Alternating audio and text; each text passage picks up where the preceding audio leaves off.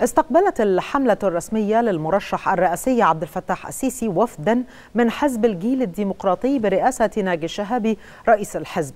قال رئيس الحملة الانتخابية للمرشح الرئاسي عبد الفتاح السيسي المستشار محمود فوزي إن الحملة الانتخابية تفتح أبوابها لكل محب للمرشح وكل مؤيد يستطيع أن يعبر ويعتبر نفسه جزءا من الحملة الانتخابية والحملة الرسمية للمرشح تقدم نفسها لكل مواطن ومواطنة في مصر وتتبع أفضل المعايير الممكنة تنظيميا في عملها.